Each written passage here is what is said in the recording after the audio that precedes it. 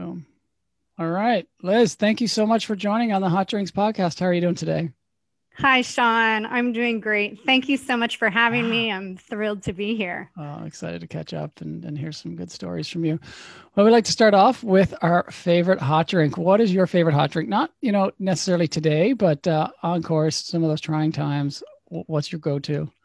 Uh, it's a great question. And I actually, although our listeners can't see them, I have a few different hot drink vessels, yeah. as they're appropriately called in the field.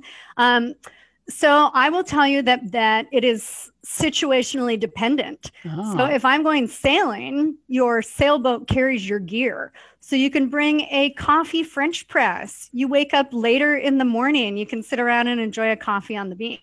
So if mm. I'm sailing, I'm a coffee drinker. Um, if I'm hiking, of course, I'm not going to bring all that weight along. And so I will drink out of my preferred vessel of choice a baby Nalgene. Nice. And I definitely am not going to put the standard issue Alaska powdered milk into this baby Nalgene because if I do, it'll never come out. So I tend to like to drink a a green tea with a bit of brown sugar that I would have substituted out for the white sugar in the ration. Okay. And my hot drink of choice today is is a turmeric ginger tea with a little bit of milk and black pepper. Wow. And what is that vessel? That would break in the field. Um, but it's a beautiful teacup that my brother brought back for me from Japan. So that's nice. what we've got going today for our wow. hot drink. Fantastic. I think I need to expand that question, not just ask what the favorite drink is, but what the favorite vessel to the have vessel. the drink is. You've just shown me, uh, you know, three vessels in a minute there. And, uh, I'm sure you have a lot more that you uh, are, are, coveted, but uh, yeah, sometimes the vessel is just as important as the drink. I think. Exactly, it's the process. It's not uh, not about the finish line. yeah, yeah, absolutely. And uh, you know, we, we, all have our favorite ones that that'll last the years, and uh, because if they don't, they're not around very long. on, on they're not around very long, and we need everything to have multiple uses. Exactly. I'll add one more quick addition to that: that a sure. favorite co-instructor and colleague and dear friend. Her hot drink vessel system was once called a chemistry set by no another co-instructor. That's awesome. So maybe if she pops up on your podcast, I'll let her tell that story herself. All right. Okay. Share, share the dates. Who was it? Uh, Janie Ringham. oh yes, Janie. Yeah, I want to. And I've get her on for sure. She'll be great. I've seen her use it underway Chemistry. aboard big keel sailboats uh, where you actually get to cook with a real propane stove. Right. And I've also seen her pack them into kayaks and aboard no sailboats way. as well. All right. Well, we'll have to get her on to hear the real story of the chemistry uh, set. that, that's Great. awesome. All right. Well, let, us jump into your first story. Uh, to hear you got one about sea lions. Now, is it sea lions in Alaska or sea lions in Baja or, or, some other location? Well, that's a great question and a great clarification because I live in Baja, California, Lower that's California, that that kind of arm or elbow of land that's breaking off from the Mexican mainland, and there are California sea lions down here, and these sea lions mm-hmm. are friendly. Actually, uh, in one of the local islands you can go and the juveniles will come and the babies will even nibble on a snorkel. So let's actually drop into the context of the sea lion nugget story which happened right. in prince william sound alaska. Mm. so northern latitudes much colder waters glacial fed waters. And so the sea lions that you'll find in the rookeries up there where they congregate are the steller's sea lions. Right so here we were one day on an outdoor educator course. This was in probably August of 2009 and was paddling along with three wonderful co instructors, a really fun, motivated student group. Um, most of them were thrilled by marine mammals. We did have one very valiant and brave student who had told us at the beginning of that section that this person really was facing a personal fear by mm. coming out on the water and was not terrifically excited to have encounters with marine mammal life, um, but they loved birds. So here we were sitting one morning. Um, it was a particularly rainy summer. And so on the water, that will often produce foggy conditions in the morning. So we do a lot of coastal sea kayaking and paddling in this course area, and we also do little hops from one island to another. So on this morning, we were on Busby Island, which mm. for listeners who are not familiar with the sound, it's actually right near Bligh Island and the infamous Bligh Reef, which was where the Exxon Valdez tanker right. ran aground and you know created a, a, devastating oil spill in that area. That's so our our our radar was up about managing our risk on the water, and we had to be very attentive because we were about to cross a shipping channel. So we got all prepared. We were launching our boats in the morning, and we did something that kayakers do. We definitely were going to stick together and travel as a pod, like a pod of whales. And we were also using our available tools for risk management. One of those is a magnetic compass. So if you want to cross from one point to another, and all of a sudden you are what we call socked in by fog, uh, you have this nifty magnetic instrument. So you can paddle a straight line the same way you would sort of walk and hold a compass if you've got a compass on the bow of your boats. So we set up for our compass, and we also took our very high frequency marine band radios and you do something that's also a preventative measure. You you have to use you're canadian you can appreciate this use bad french. You say hmm. sécurité sécurité sécurité. And you essentially let any any boat traffic marine traffic in the area know that there's going to be a whole bunch of you and that you only sit what about a, a meter right. at most off the water. So two to three up in two to three feet up in the air adults, depending on your height. So you're not very visible, and these boats don't have any lights on them. So off we set into the fog, paddling along our bearing. We made a successful, uneventful crossing. And then we believed that we had turned south where we were going to head down and check out the sea lion rookery. And we're paddling along, paddling along. And as I mentioned, the cold waters, you see big hunks of ice. They're actually mm-hmm. broken off bits of iceberg, the bergy bits. And then all of a sudden the fog lifts, and we're supposed to see only water to our left as we believe we are traveling along the outer coast. And uh, we saw land to our left oh, and no. recognized that, however, we had, although we had paddled along our straight bearing, there are also these water currents mm. that create set and drift. So, although we paddled the straight course, we basically got set further to the north and end up in a little internal bay. No so, it was quite a good one. So, we enjoyed the show and we paddled a little further than we thought we were going to. Um, but we wanted to really keep our wits about us because later the fog came back down. And the school's protocol at the time was when you're coming up to this Steller sea lion rookery you really want to give it a wide berth. Mm-hmm. so think about these animals. They're in their home. You don't want anybody barging into your house and and uh, kind of getting all up in your face. And so these sea lions also would not appreciate that either so the person who is the designated course leader is is a wonderful friend and colleague. I understand he's also been a guest, his guest with you here on the Hot Drinks podcast. His name is Oscar. And Oscar now speaks impeccable English. He's Mexican born. Um, at the time, his English was a bit more accented. And, and part of the, the charm of, of the natural history nugget about the sea lion lions that he told that day was that he told it in, in his voice at the time the sea lion rookery will be very populated. So he tells us all about who's going to be there the dominant males that have the big bumps on their heads, surrounded essentially by what the humans would call a harem of female sea lions. So we're talking about hundreds of individuals. He's describing this to us. And as we're approaching the point, we still can't see them yet. So we're we're keeping our boats doing something just called holding position and trying to trying to not move too far or too fast when all of a sudden it becomes clear that and we're like there's some weird noise happening. It's kind of a low din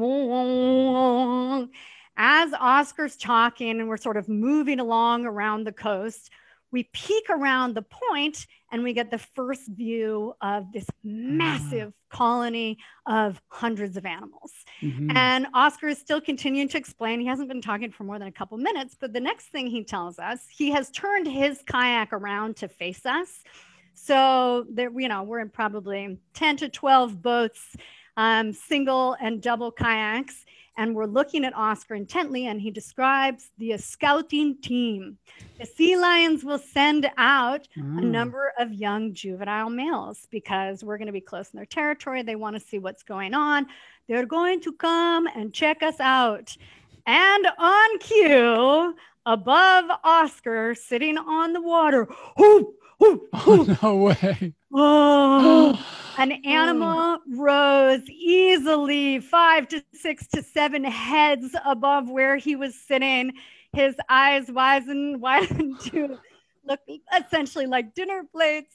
And not one, but two, three, four, nine animals literally came up. These are pinnipeds. So they've got forward flippers and then these kind of tail fins. So they're tail walking. They're standing up in the water and they're making really quite a loud scandal, indicating that they are scouting us out. And Oscar, without any further direction, immediately at the top of his voice shouts, The sea lion nugget is over! no way. And paddle we did. Now you'll remember the one student facing fears. Right. Oh, this person really had a tough go of it that day. But among that student group, I have never seen a better forward stroke, more efficient rotation, perhaps a death grip on the paddle that people sometimes remember to sort of ease their hands and lighten up on and paddle we did. And no. off we went. We took as wide a berth as the fog would let us that day. And we got out of there as quickly as we could. They didn't follow you? And they followed us. no way. the scouting team was really on duty and they were they were going to get paid that day and and make sure they did what they needed to do which was not let a lot of kayakers in close and so they followed us by the time we got to camp, which was a couple more hours later. Um, there were only two scouts, and those scouts stayed overnight and what? they stayed with us. No we were out there in the morning, trolling back and forth. They were not interested in our fishing. No one was going to take a quick dip to bathe in the cold water that day. Right. And we continued on through the course. And the one scout stayed with us for three days. No way. I've Every never heard single that. campsite. And of course, you can imagine the popular refrain that the sea lion disregarded and its entirely the sea lion nugget is over. the sea lion didn't care. So wow. that was the story of the Steller That's amazing. Did it uh, come close at all when it, when you were guys were paddling, or is it just kind of oh, paddling? They definitely came close. And the fun thing about this scout is just when you thought you'd lost him, right. he would kind of pop up next to a boat and surface. And whether you were scared of sea mammals or not at the time, everyone right. definitely jumped, and you got a chance to practice that bracing stroke yeah. and make sure your boat didn't flip off to the side. Um, oh, but man. it definitely kept us on our toes for the rest of the course. Yeah, I, I believe I've been by that uh, rookery, and uh, it's incredible the amount of, of sea lions there in, in, one spot, and it's it's amazing. Like you don't see them all over Prince William Sound, but there's a couple small, you know, gems where they like to hang out, and, and they certainly didn't follow us when we left there. So that that's pretty neat to, to have a have so a friend. You probably follow the protocols a bit more closely and, and gave them a bit well, more. We, made it didn't have we didn't have the fog. We didn't have the fog. We could see it coming a mile away. exactly. we had it on our charts, but of course, when you get there, it's different. Um, yeah. And one other thing, actually, that the that the scouts did, which I didn't mention in my excitement remembering, was I know that you have have kids, Sean. So perhaps they have taken dominoes at some point mm. and set them up all over the living room, where you tip one domino and then brrr, this massive cascade effect happens. So once the scouts had set the alarm, there was a massive cascade effect of hundreds of animals. No, coming at you which didn't necessarily follow us, but all went into the water. Um, wow. I don't think anyone turned around to see if they were coming or not. Right. We well, that's their safe place, right? Paddle, you know, once they, paddle, once they paddle. in the water. exactly. For for um, certain predators, it's their safe place anyway. Other predators, they need to be out of the water. They need to be out of the water, right? Wow. So, that, good rule awesome. of thumb with all animals is recognizing that in the backcountry, you're you're in their house, they're not that's in right. yours. Keep so your distance. Keep your distance, being respectful. Yeah, I've heard of like thing. the odd dog following a course here and there, but I've never heard of a sea lion following a course. That's awesome. yeah, wow. we didn't That's... we didn't give him a name or anything. No, didn't feed him. No, definitely didn't do that. Kept the wow. fishing to adult to a dull sea lion roar. Yeah, right. All right, that's awesome. I really appreciate that one. So sure. this next one uh, has a VHF involved. Is this uh, on the ocean in uh, Prince William Sound in kayaks as well, or? Uh... So it's it's on the ocean. It's very high frequency, and I gave you a little title for the story, which was what is FFU on the VHF? So, the very high frequency radio, um, this time was being used in the waters of Baja California. Okay. So, the inside of the Baja Peninsula, the Sea of Cortez. And on this particular expedition, we were sailing these, these shippy little boats called the Drascombe Longboat. Um, so it's a little open fiberglass sailboat. It's about 21 feet long. It's got three sails and in the name of still camping, um, what the school does with these boats is you can anchor them quite close up to the shore. You put down a bow anchor in the water, and then the, the pointy end of the boat, and then you back the stern or the back end to the boat up to the coast, and you actually put an anchor in the sand, and that lets students and instructors unload their gear. And mm-hmm. so we were traveling with a student group who was just culminating a whole semester out in the backcountry. So imagine these semesters can be anywhere from about 78 to 90 days. So they're coming up on 80 something days in the wilderness. These folks had had gone hiking already, sea kayaking, and now they were sailors. Um, and they were a fun group. They were very competent. Uh, they took the leadership curriculum seriously, which was one of our principal objectives out there and they really loved the place we were. So they really got into the marine life, the desert life. Um, there's actually a desert that butts right up to the sea. So they would write stories about the scorpions or the funny puffer fish. I don't know if you've seen them, but they're really absurd animals whose mm-hmm. defense mm-hmm. is to essentially blow up into a balloon that renders them defenseless on the surface of the water. Um, so these students loved everything that they that they could about the places. We spent a, a wonderful Thanksgiving with this group in a small fishing village along the coast, and just to the south, we were finishing up some radio ta- transmissions on an afternoon and we wanted to put our radio classes into a bit more practice so there's always a point in, in a leadership course where the instructors step back from the leadership and they hand it over to, to students. And, and you always do this, sometimes with fingers crossed a bit. We felt confident with sure. this group. Um, so it was an afternoon where our backcountry experience shifted a bit with a bit of front country. So we did a quick sail where we were already anchored to another part of the bay where there was a little town, Agua Verde. So the mm. green water a beautiful spot, big cliffs along the shoreline, a pinnacle rock. And we had just a couple hours to sunset and moonrise. And we went into the town, mind you, we're at the end of our course. And so we went into to one of the, the little stores. The instructors stocked up on fresh vegetables, tortillas, eggs.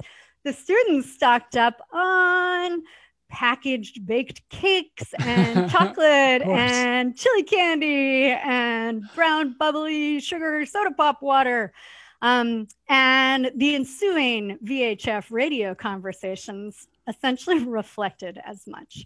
Oh, so no. I was coming back through light air and we're we're doing these little kind of zigzag short tack movements to get back to the beach when there's a really interesting conversation on board where they decide that ah, this radio protocol is okay. Now, these are international hailing channels or mm. they're public channels. So right. we've let them know to be professional. We've used a phonetic alphabet. The FFU could have been Foxtrot, Foxtrot uniform, but in this case, it wasn't. So here was the theory of one student who said, I think that it would be much more efficient if each vessel on the water on the entire planet had, and now you can see the sugar kick, kicking in, its own independent number for its boat. Say, for example, and he pulls the number out of the air, and I had to write it down to remember 478,526,208. But if I wanted to hail your boat number that was that, I would need to repeat it three times. For some reason that day, maybe it was a sugar, kicks in, and he said, and of course, you would want to end your transmission, pretend British accent, with fought fought underpants. instructor, you know, the big palm plant to the forehead. Oh, no. oh my. At first, this is just just not something that you. And so this is two boats engage. talking to each other, or is he this just is, chatting this about this on shore? He's talking about this now. We're underway in the boat, okay.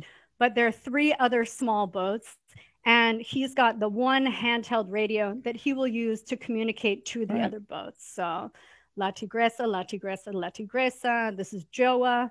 Joa, go ahead. We'll sail back over to the. So something right. concise, short. So this was just a conversation underway that they're they're trying to refine that protocol because they found it a bit boring with all the sugar. So one of his boatmates said, "Well, all right, you could do that." But you would begin with fought, fought underpants, but of course you would need to end with underpants, fought, fought. Now, these are college age students. One of these students had been reading Moby Dick and telling it to the course. So plenty of level of education, but again, with the sugar, a bit of right. a bit of um, a bit of wackiness going on. So the sails are flogging. This conversation is continuing, and all of a sudden, I decide that that these are these are no longer fit sailors. They're under the influence of too much sugar. So I get them off the helm, and try to focus them on trimming the jib or easing the mainsail or turning around to see the mizzen sail or looking where we're heading or trying to use all these different tricks. So at this point, they realize that they've gotten me. So now they're doing the trick with the very high frequency radio, placing the thumb strategically close, but not over the talk button, and proceeding in their British accents. Underpants fought, fought, other boats, and I'll look at them and my eyes get wide. And they say, just kidding, I wasn't pressing the talk button. So this continues, this continues. So um, at some point I fire these students from the helm. I say, you are no longer, you are no longer going to drive this boat. And the other boats, we were about to get back into where we were supposed to be. There were also now a new obstacle of much larger sailboats who ah. found protective refuge in this cove. There's a beautiful sunset happening, there's a moonrise coming up. And it's cocktail hour for these folks. So all of a sudden, everyone out is out now watching what we're doing, and as the wind dies, hearing what we're doing as right. well. And they're not so, even listening on the radio; they're just hearing. They're not even listening on the radio; uh, just sound carries over water. Yeah. So the other boats get underway. They lower their sails. They start rowing or using an outboard engine.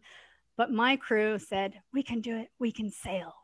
And so, it, as is the case often uh, with students, sometimes you recognize that if you if you are not in charge, you might as well join them. And so I said, all right, sailors, ready about, everyone down to the leeward side, fart fought underpants, ready to tack.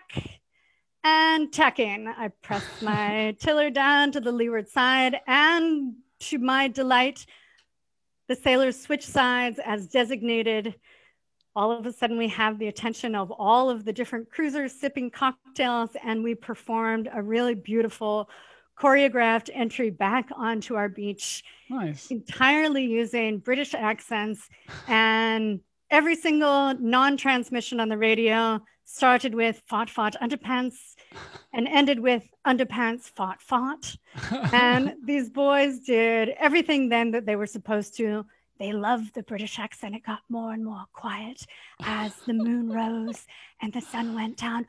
Prepare to lower the bow anchor. Ready on the bow anchor and lower. Anchor and chain on the bottom. Prepare the oars. Prepare the stern anchor. They took the boat all the way into the beach. They loved it so much that they talked quietly all the way throughout dinner. They prepared their dinner in British accents, and one of my favorite student evaluations that I've ever received ended with three initials at the bottom of it. I don't know what my program supervisor thought when she read FFU. That's hilarious. They wow. rewarded us at the end with appropriate radio speak. Once they got me going, I joined them, and the whole thing turned out to be a beautiful afternoon and evening on the water. Wow. Well, that, that's you know that's an amazing example of leadership, and just you know, it's so much of it's meeting them halfway. You know.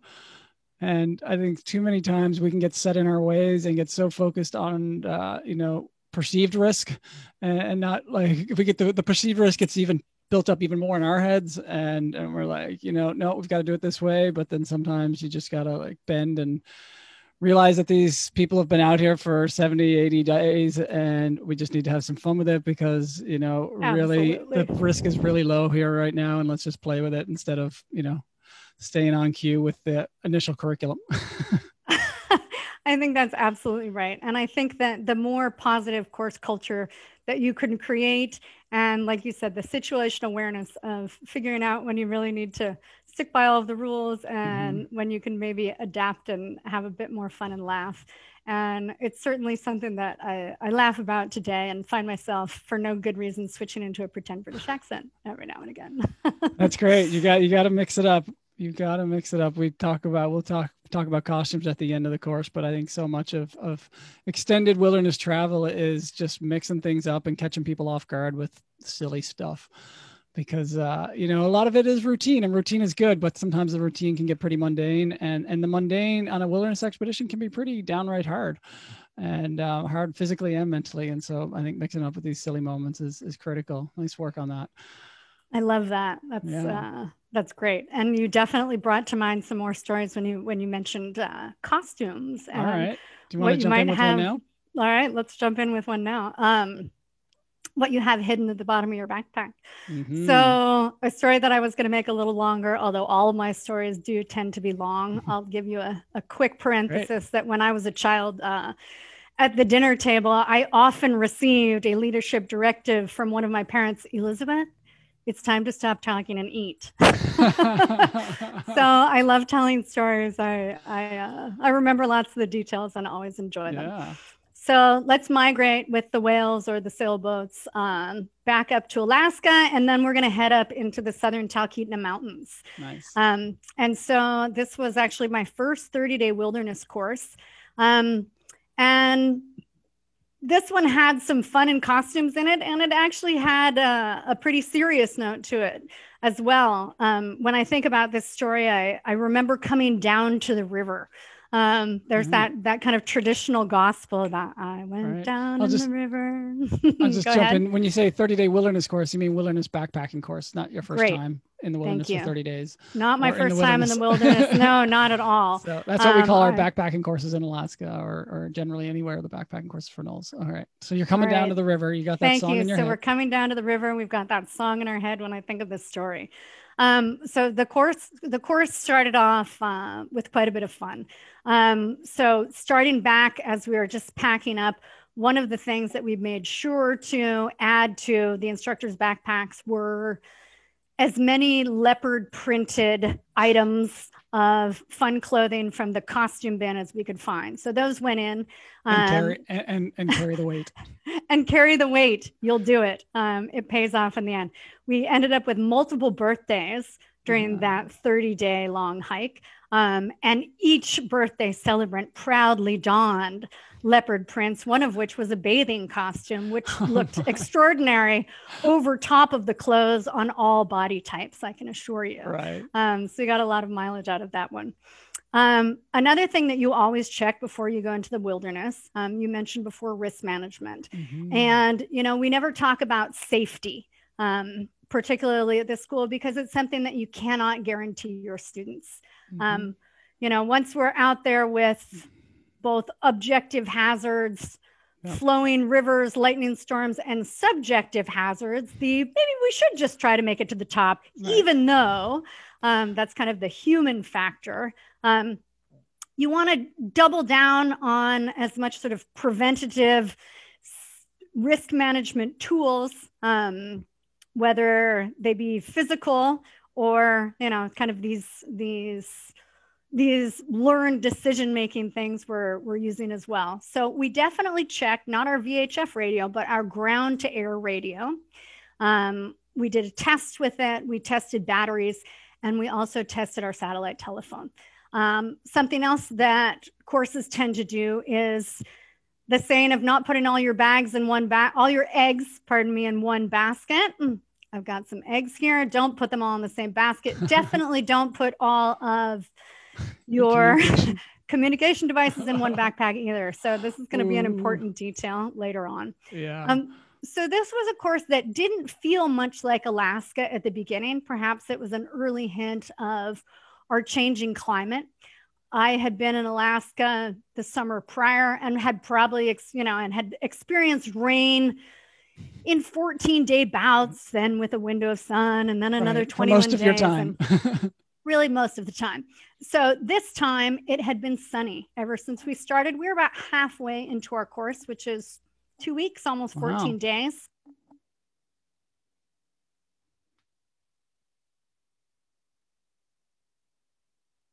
Experienced some rain and some students who weren't that interested in putting on rain jackets because they figured, oh, well, it's you gonna. Just, you just froze up for a second.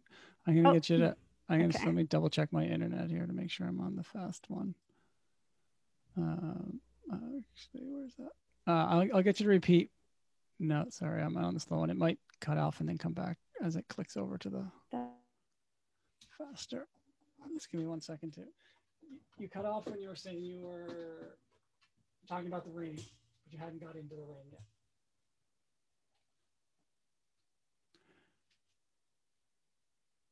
Okay, you got me? There, there we are. Okay, I can we're back. hear you, but the image is frozen. Okay, am I still frozen? No, nope, you're back. I think all we're right. both back. It should it should be all good now. Sorry about that. Okay. Um, so sorry. we were we were easily able that summer to talk students into wearing costumes, but it had been so sunny which was unseasonable right. in my experience, that they weren't that interested in wearing rain gear. Um, before we got down to the river, I'll do a, a quick rewind because I mentioned that ground to air radio. Um, we started off the course and received a first re ration. In Alaska, the new supply of food is brought in uh, by plane, which is mm-hmm. always quite fun. They land on giant fat tundra tires. And in this case, I went to communicate with the pilot with the ground to air radio, and it immediately cut out. And so I checked it, the power wouldn't turn back on, put in the new batteries. Those also did not come on. Oh, so no. All of a sudden we didn't have communication with this pilot. Luckily it was it was a day with not much wind. Um, and he was able to land, get us our re-ration. And then unfortunately, early in that course, there was one student who ended up with an injury and needed to be what we call evacuated. So essentially we made all of the arrangements with the first landing of the plane. The plane returned the next day and the student went to get some some medical attention and the pilot handed me a pocket full of new batteries. Nice. He also handed me some flagging tape. So it's basically just a bright oh. colored pink or orange plastic tape um, for pilots. As for sailors it's pretty important to know which way the wind blows. Um, so you can use it to brake Mm-hmm. And mm-hmm. and successfully land. All right, so let's flash back forward to the first rains, and we're walking down, descending a large boulder field to come to a river. Um, so we had already been uh, taken off of our course a bit by a river that was much larger than we had expected. Now I'm calling these rivers, but when you when you check your Alaska topographical maps, they're creeks. Right. So this was this was Boulder Creek um, that we probably hiked about five and a half miles out of our way on our planned route to go. And so if you cross a creek at what is called the toe of a glacier, basically where the glacier starts to melt and the water winds its way through the mountains. So we had done a successful river crossing there.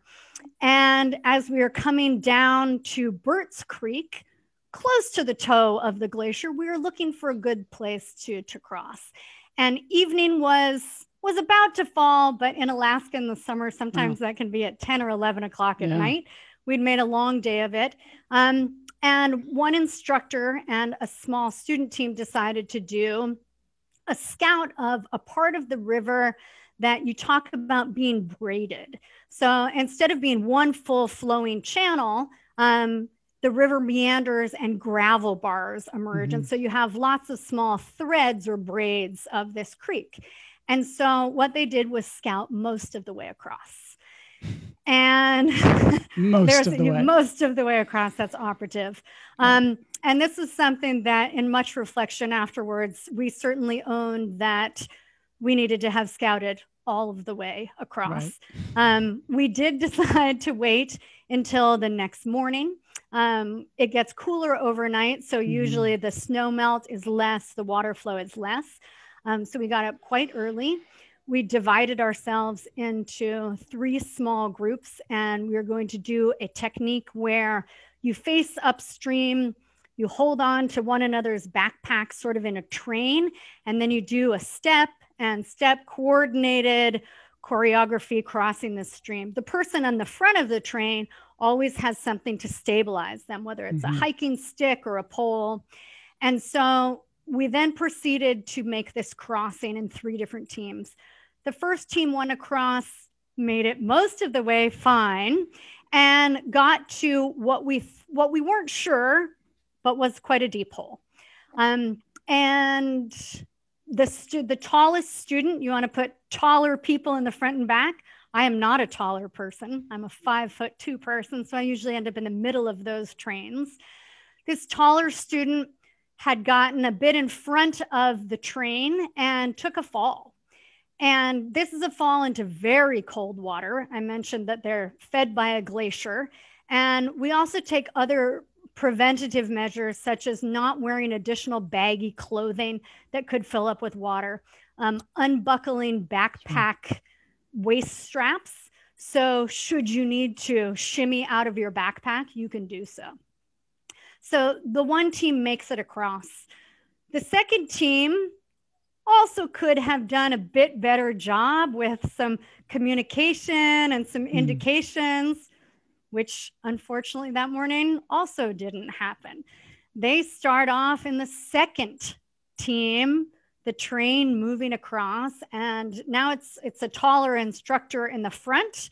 I'm in the team in the, in the sort of the last and third group, and then it became really a quite scary moment. Um, certainly one of the one of I would say the most scary moments I, I remember in my consciousness in the backcountry. Wow. Um, so the instructor found where the first student had fallen over, and it hadn't necessarily been about keeping the train together, but there was quite a deep hole. Hmm. So they were so, crossing at the same place? Crossing the same place, even though we had seen what had happened. So the stick goes in the water. He feels the deep, deep hole, announces there's a deep hole just as he does, he falls down.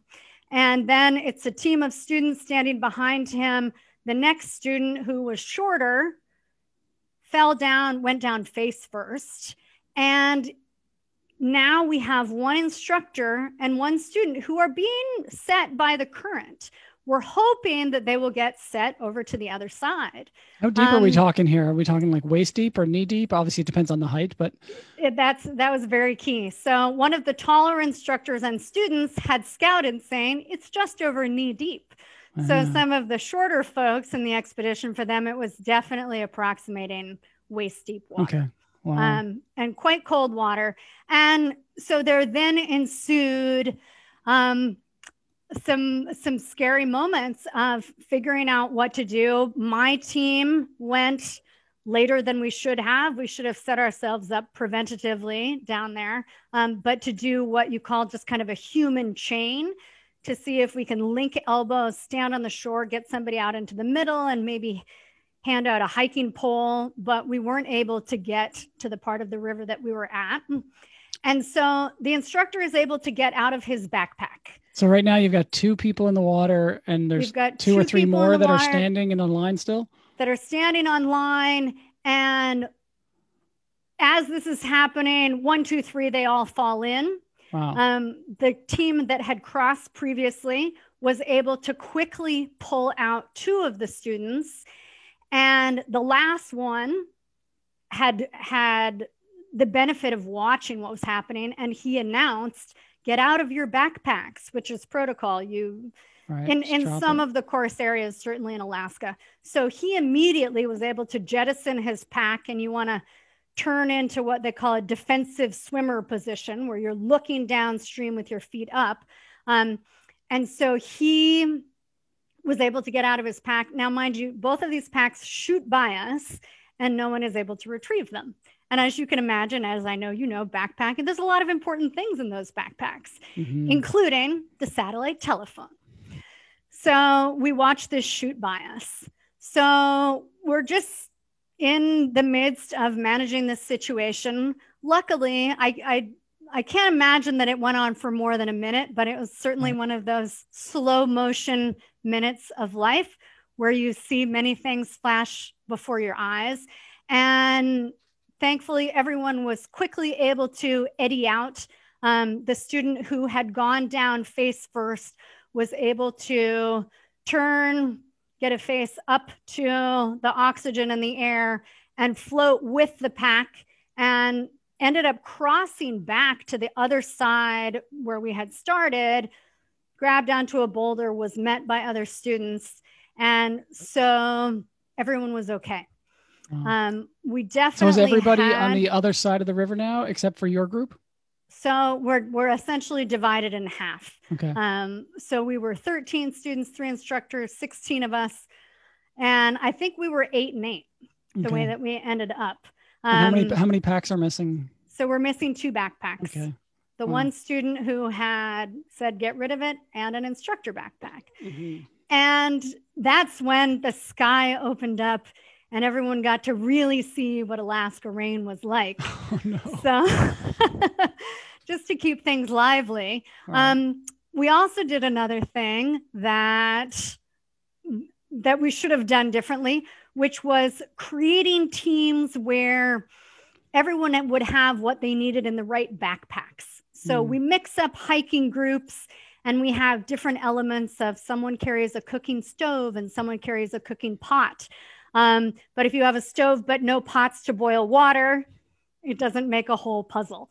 Mm. Um, so here we were with disorganized gear and folks who were quickly approaching, you know, perhaps mild hypothermia.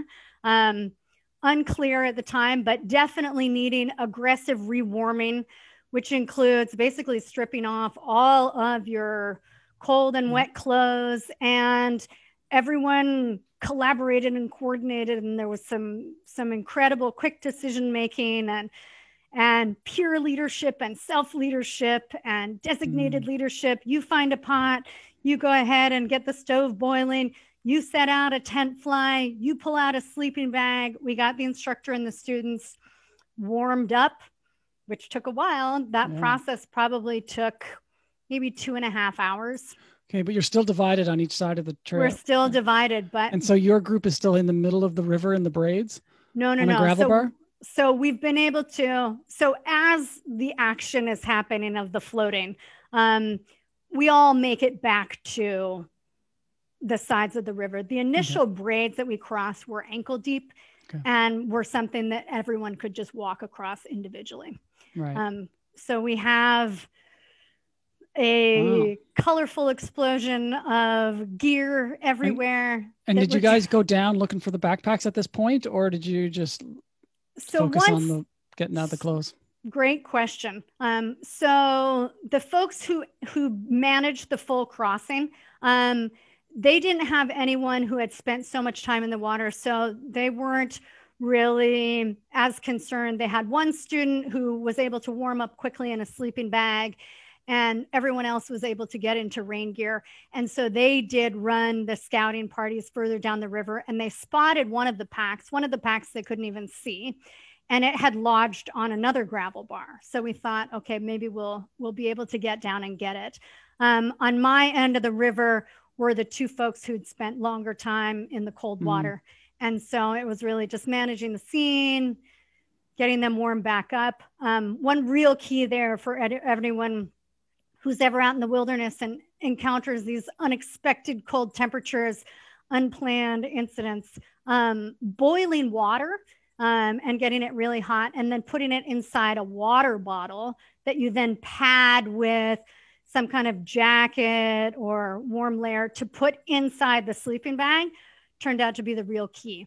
Mm. Um, as well as some things that you could eat easily from a prone position on right. or on your side, like peanut butter.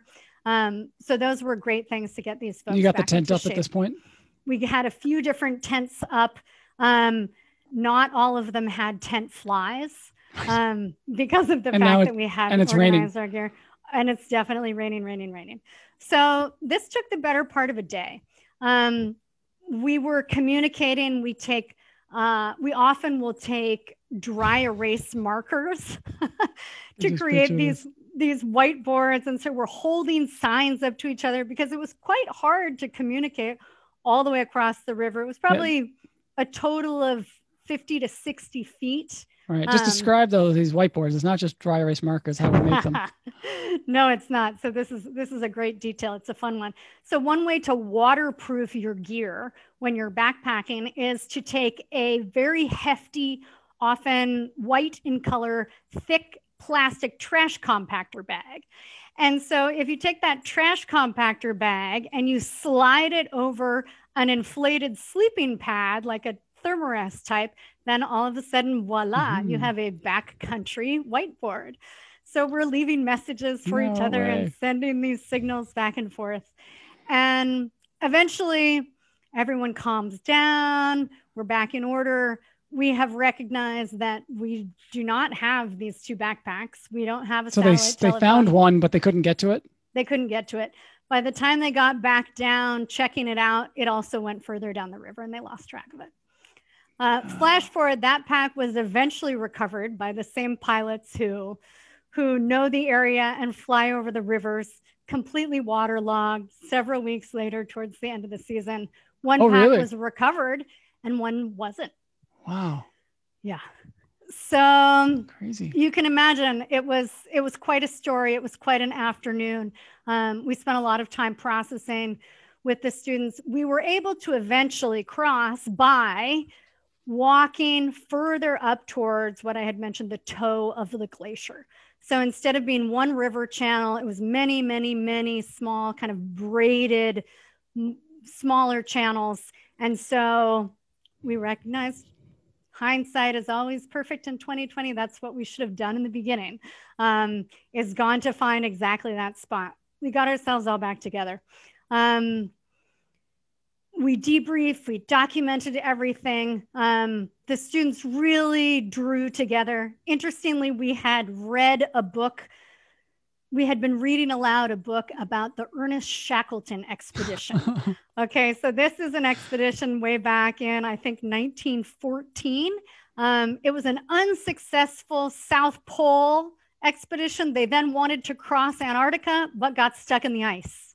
Yeah. However, the noteworthy thing about that expedition was that everybody lived. Right. And Ernest Shackleton, who was the designated leader, he he essentially kept everyone's spirits up and they played games and they sang songs for over a year marched around together for over a year yeah. now we weren't out there for over a year but it does flash forward and i know i'm going on a bit but this is a good one this is good so uh we then were in for some waiting around and some Shackleton like fun. So we finally got back underway. Mind you, we were down two two packs. So that includes two sleeping bags. That included one bag of food. That included a stove. It included a tent. So we rearranged ourselves.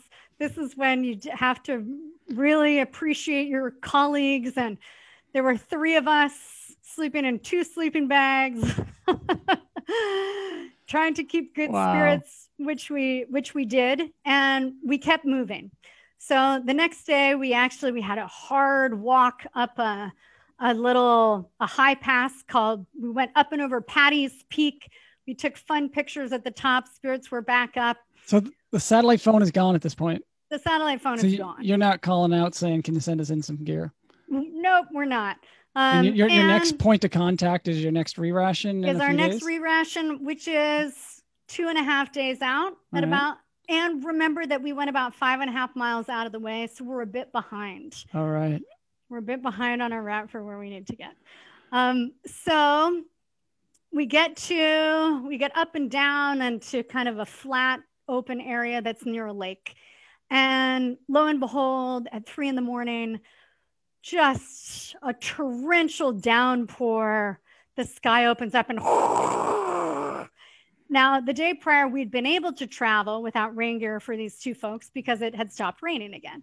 Um, but it became clear mm. that it was a a full stop. We often use the word zero. That means we're not going anywhere. We're not doing anything.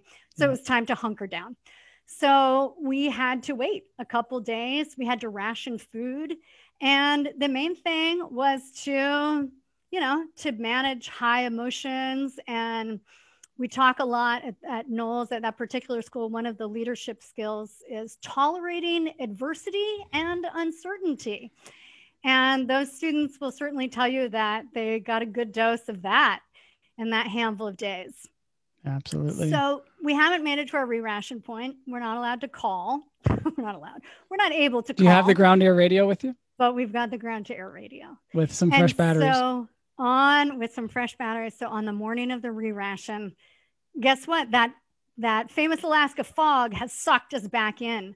So we have spread ourselves out. We've tried to make the tents look bright. If there were any. Mm you know, additional sleeping bags. We're trying to make ourselves visible. They knew where to come look for us. So it wasn't their first rodeo either. They also made a smart choice, which was instead of putting one plane in the air, they divided the weight of the food into two planes, took two pilots so they could take additional fuel oh. and spend a bit of time looking for us. But how did they know that they need to look for you? because we we hadn't called to confirm our re-ration, which was protocol. Hey, oh. we'll see you tomorrow. We'll see you at the X. Gotcha. And they didn't get that, so they went to where they we should have been, didn't find us, and then they started to sort of backtrack, which okay. would have been a normal route. So it's foggy we can't see planes, but we can hear planes. Uh, they do ah. one pass over and don't find us. Oh, and you can oh. hear them. That's the worst when they, you're like, you're right here. We're here. And the students and we all are jumping and we're right here. And uh, and I tried the ground to air radio yeah. and they didn't hear us. Nothing on the radio. Second pass by. I can't see them. We hear them again, but we hear their conversation. And so they're talking back and forth with each other and I'm able to break in. Oh. So we're oh. able to describe where we are. Lo and behold, we camped right next to a backcountry airstrip that we hadn't marked on our maps. There no way. You know, they did you think? Did you about, know it was there? Nope. They often talk about a small, you know, a small series or a long series of small errors. Right. Sure. leading up to big incidents. So we also had a long chain of small good fortunes. Um, and this was certainly one of them. So they were able to land immediately. Even with they the traveled with a satellite phone. They called immediately to the branch. They got us more gear. And when they came back, you know what they also brought, which did worlds for our Shackleton cruise spirits. They brought us some ice cream, Sean. No ice cream. So we are renewed. I thought you were going to say some more leopards, leopard print uh, clothing. that would have done it. If only we'd had a, a wow. feather boa to complete the look. Oh man, um, ice cream. So we're almost done with this story, but it's one of those, Sean, yeah. where it's not over till it's over. Right. Till and back so playing we, ping pong. Till we're back playing ping pong. So of course we said, hey, could we make this route any shorter? We're now number of maybe a couple days and certainly many miles behind. And the answer is we're sorry, but no. It's an no A to B route. We're headed towards a river where jet boats will will whisk uh, us out of the ah. wilderness. Okay, and doing that route up to the Talkeetna River. Remember that one in the southern yeah. Talkeetnas, the famous jet boat route. Um, so I'll I'll skip ahead quite a bit, but we did make it. We made it out to our pickup spot but not after trying to cut more miles off where we tried to go down a steep mountain pass as the the hikers and mountaineers will say that didn't go right. essentially you oh, get no. to a spot where you say this is too precarious. We, you know, we didn't have mountaineering equipment. And so we had to turn around and walk back up. Ugh. And the student who had spent the most time in the water um, was one of the ones who had quite a time on that day. And we collectively did a quite nice thing to bring the spirits back up, and that was sing songs from the sound of music. So there we were, raindrops on roses. I can only and picture there you. we go, whiskers on kittens, right? So they, did they appreciate that? Absolutely. Oh, and so we kept that up. We told stories. Um, this group was incredibly conscientious about taking care of each other. They were hard times, but we all really stuck together, pulled together let's just flash forward to the very end because we weren't done until we were done. So we we're finally made it. We're sitting and waiting for the jet boat. We've congratulated ourselves. You know, mm-hmm. there are hugs, there's exhaustion. We can't believe it. And the boat shows up.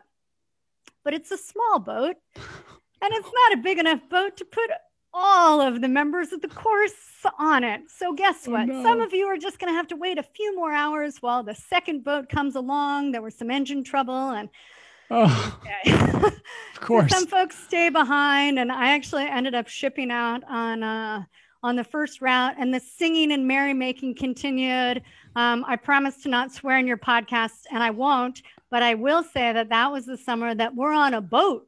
We're on a some kind of boat. Song got popular, so there were.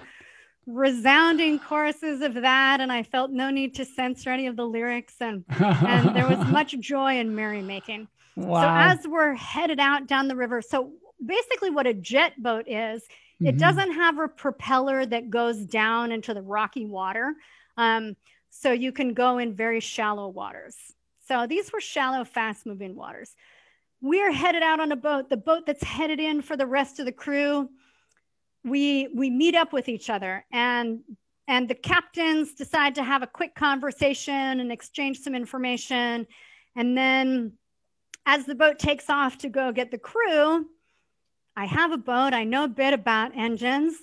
And I watched that engine not want to go into gear and simply stall out. I said, okay, that's all right. Engine stall all the time. So we're just getting set down a quite fast moving river, yeah. downriver. We all yeah. knew about fast moving rivers. And he's unable to get the engine started. No. so here we are, just getting set down the river, mm. down the river, down the river. And he was a, a good mariner, good sea person ship, as we say. So he did have a, a big long line tied to the bow of the boat. So now we're getting back into populated territory. Folks are out salmon fishing, enjoying mm. the Alaska summer. And so there were people on shore, but we were far enough away that they couldn't do much but sort of wave to us. Are you rowing we, or anything at this point? Are we what? Are you rowing? Do you have oars? Oh no, there was no no, there were no oars aboard this boat. No, there was probably one paddle, but it was fast moving current and, right. and we weren't going to really be able to do anything. Luckily, we were fairly quickly set against the shore. Of course, the first toss to someone on shore gets into someone's hands and the rope pulls out of their hands. So we bounce back out in the middle of the river. We finally make it. There's a toss to someone who's paying attention on shore. They grab the rope, they take a big wrap around the tree. Mm. And so the boat swings into shore guess what happens next, Sean? We watch the captain literally like a rocket shoot out of the back of the boat and cl- like clamber, I don't know if that's a word, like a cartoon character up the shore. Because what has the boat done? It's hit a hornet's nest. no way. so this poor captain oh, is getting stung, man. stung, stung, and makes it to shore, gets rid of, I can't remember if they're actually bees or hornets, but um, no fun was had. He's able to get the engine started. We make it back to the we make it back to we call the, the where the Alaska program is headquartered the farm. It's an old dairy farm. Uh, in Palmer, Alaska. The students are recounting the experience of their life, the ups and downs. And something that felt very good to the instructor team was that after all of that, on a scale of one to 10, as we like to use in the backcountry wilderness medicine, they said that it was an eight out of 10 of the of the best things, of the best experiences they'd ever had. No way. So we thought we were done. We're almost done. I'll almost let you wrap this up. Yeah, But it's not over. so we said goodbye to the students Um, I've kept in touch with a good number of those students. Many of them have gone on to do wonderful things. Um, the one student who spent the most time in the water eventually returned to the school and has done a few different courses oh, as yeah as uh, alumni courses oh, and oh, yes so it's it's been a bit of a healing journey and and some ups and downs to it but it finally ended for our instructor team the next morning when we are going to finish up and wash all the gear and have a, a decently long chat about all that had gone on out there and we had a very kind program supervisor who's the one who sits down and does all the paperwork, which also had to be recreated as the written paperwork for the first part of the course had floated down the river. No, I so I of course we, that. we rewrote all of that, and um, and we got a ride into town to a delicious breakfast place called Turkey Red. And as we're driving down the hill, the final approach to our breakfast, a lovely hot drink, some eggs, some, and the program supervisor says, Ah, oh, I don't have the paperwork. You know, is patting around on the seat and in the bag. And, and we make it to the restaurant. And I volunteer. I say, you know, you all go in and go ahead and you know, order me a hot drink by all means. Today it's going to be coffee with a little milk, no sugar and I go back to the base to look for this paperwork. I say, I assume you left it, you know, on your desk or in one of the other common spaces where we had left. And I go and check the first common space, run into former Hot Drinks podcast star Jim Chisholm mm-hmm. and ask him, Have you seen a pile of paperwork? And no, he hasn't. and uh, we check again.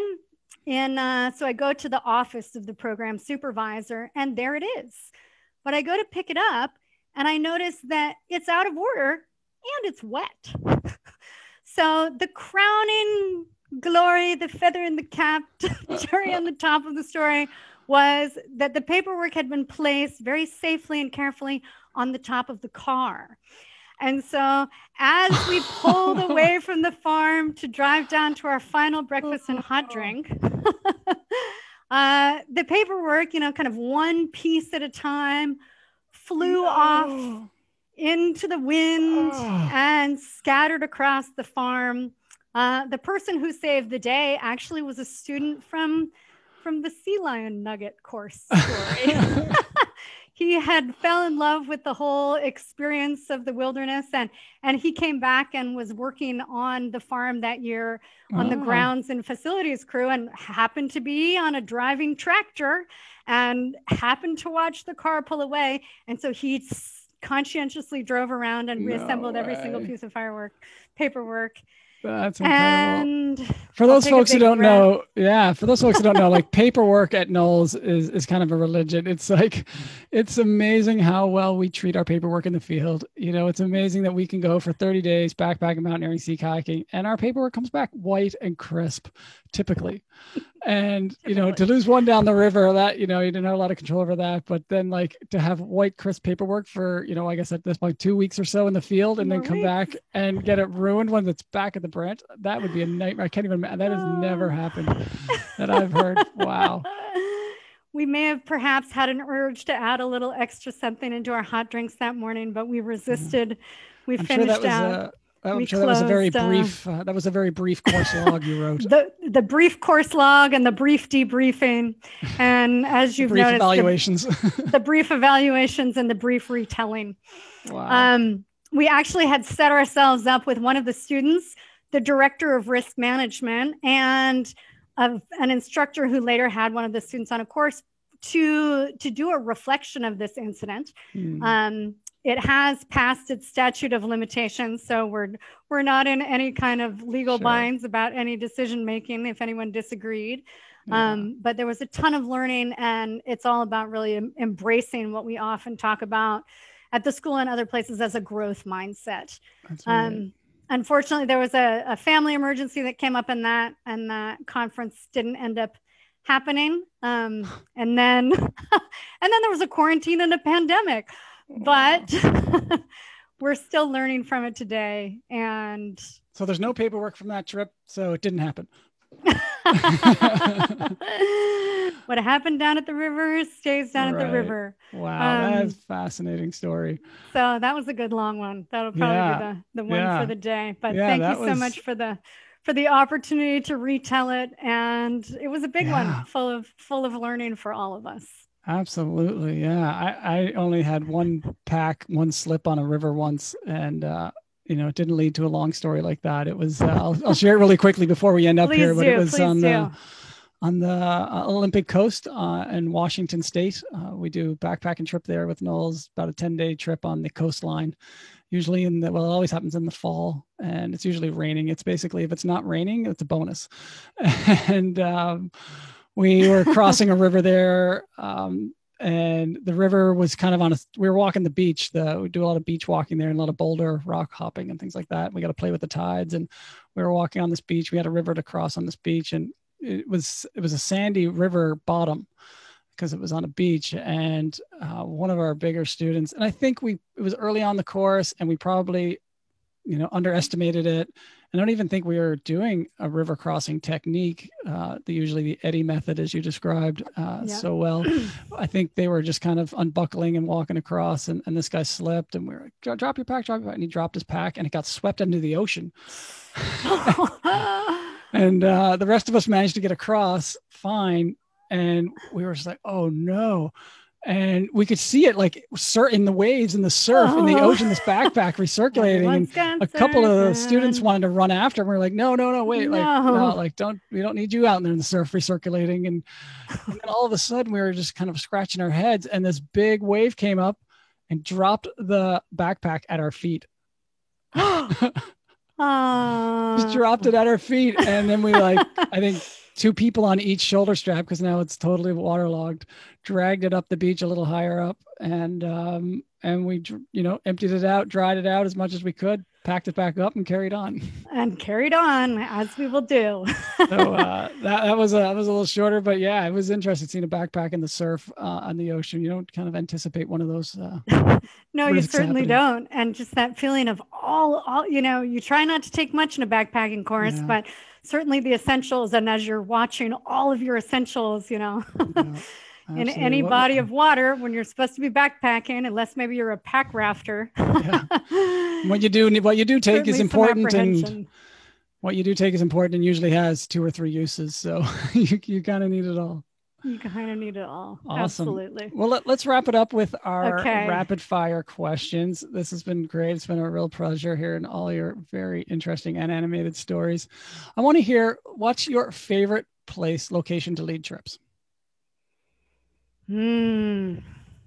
Oh, it's hard to pick just one. Yeah. Um, but I think that my my current home tells you really mm. where it is. And interestingly, my my partner now of many years is is a native of Baja California and has a family ranch project mm. that's actually land that's designated for conservation um, which is quite wonderful. That is just south of the town of Agua Verde. Oh. And you're catching me. I we had we had chatted a couple weeks ago about getting together on the podcast, mm-hmm. and I'm just returning from a little respite from from quarantine and certainly folks at northern latitudes from from winter um, i just got to do a week long sailing expedition mm-hmm. here on the sea of cortez um, named originally uh, not for a Spanish conquistador, but uh, by local folks called the Mar Bermejo. And mm-hmm. that's Spanish for the Vermilion Sea. And often at sunrise and sunset, there's this extraordinary phenomenon that happens, which is that the water will reflect the same reds mm. of the mm. sunrise or sunset. And so that's that's yeah. where it got that name. And nice. so it's a very changeable sea. Sometimes it can be flat like a lake. Um, sometimes it will get heavy winds and pick up four, five, six, six foot standing waves. We sailed in winds last week um, of up to about 30 knots. Um, oh, wow. You can, that was a lot of wind. Yeah, it was a much bigger sailing boat than the ones that we right. sailed with on the expeditions, or certainly than winds than you would ever think about kayaking mm-hmm. in. Right um, but yeah, this is quite a quite a magical coastline where the desert meets the sea. Yeah. So this is right my on. my Baja preferred place to be out. Beauty spot. Right on. Okay, what's your favorite piece of gear? Oh, good one. A buff. I have yeah. a yeah. I have um.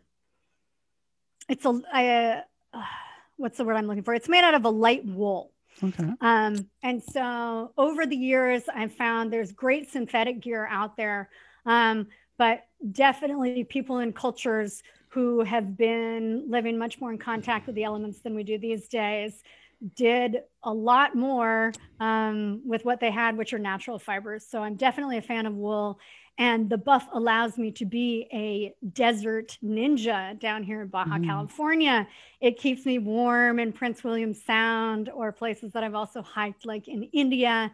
And if you've got, I, I, don't mean to make a jab, Sean, but if you've got a bad hair day in the back uh-huh. country, which my hair that's a bit longer than yours will sometimes, yes. you know, tend to experience, you can wrap it up onto your head and and uh, nice. either cover a head with less hair or wield an un, you know tame an unwieldy mane right. um, of hair that that it also keeps your head warm exactly and it also keeps your head warm right on okay well you may have shared this one already but i'm going to ask it anyway and see if there's another answer what is your best backcountry costume either that you've seen someone else or that you have used yourself Oh, excellent. Um, actually, so in 2019, the last the last course that I worked uh, with NOLS Alaska, they didn't operate last summer, and then I've been off doing doing other things for various reasons. But we had some spectacular costumes that were also accompanied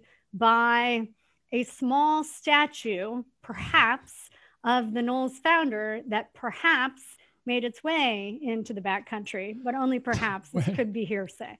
Um, so the instructors who may or may not have taken this small statue along on a sea kayaking expedition. Also, there were two two of us were women and one and one male instructor, but we all had prom dresses. No and way. prom dresses prom are dress. only ever made better if everyone also commits to wearing the bright red shade of lipstick that you would have to wear to a prom. Um, lipstick, that's a new one. Wow. so lipstick, lipstick and prom dresses, um, wow. fully embraced by all members of the team. And then again, we may or may not have had a photo shoot with a small statue, statue on this particular Paul course Petzoldt. as well. I didn't know a statue existed of him. Wow. Uh, don't ask around. All right. I, I, guess I won't ask for any photos of that to post in the show notes. Um, well, if I uh, maybe if I if I contact the legal department, yeah. Um, I could. see, see if we can get some special there, permission. There may or may not have been some special permission. Um, before the NOLS leadership uh, changed hands at, at the helm, there may or may not have been some participation in the documenting of this small statue prank that either was or was not a prank. right on. Well, yeah, if you got pictures, we'd love to see them to see if this actually came through because we got vivid images on our mind right now of what palm dresses in the backcountry actually look like with bright red lipstick, of course.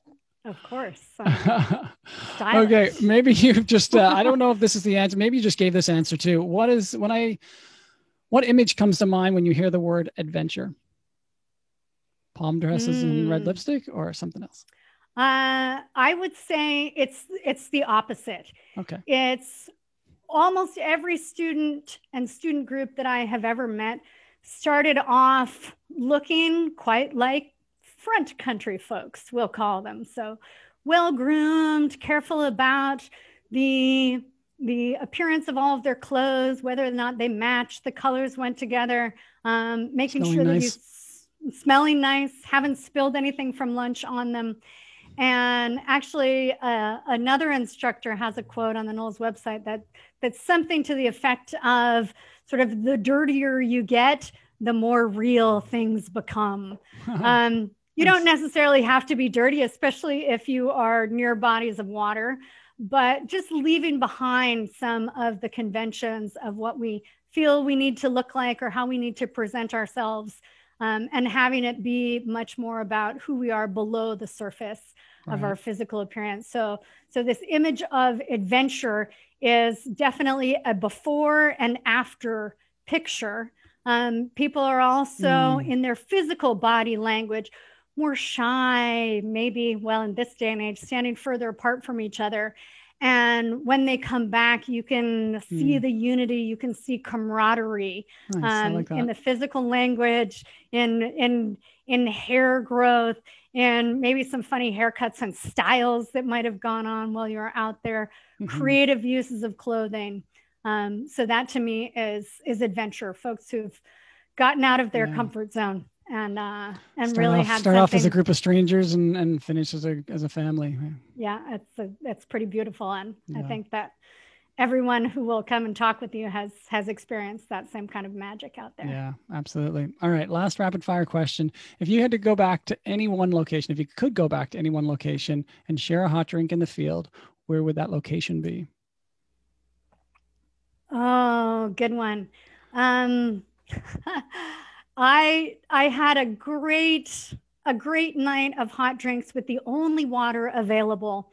Um, I know that you have spent some time in the course area where NOLS operates in India in the Himalaya.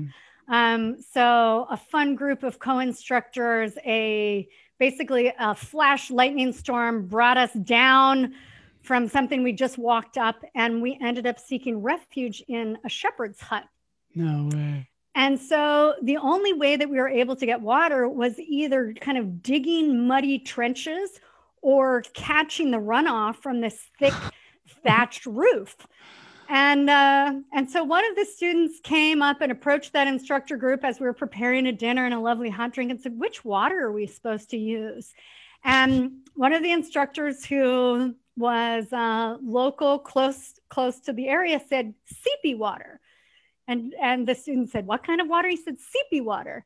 And the other instructor recognized that it was just a bit of the accent. He said, Sheepy water. And, uh, and the person who said it first clarified, Seepy poopy water.